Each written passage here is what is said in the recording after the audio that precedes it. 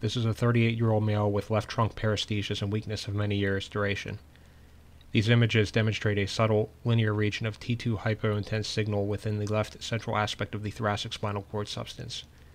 There is patchy linear enhancement at that site on the sagittal and axial post-contrast T1 weighted images. Given the apparent hemosiderin deposition within the cervical within the cord substance without significant volume loss, an underlying vascular malformation such as a cavernoma was suspected. A spinal angiogram was then performed to exclude the possibility of an underlying AVM or arteriovenous fistula.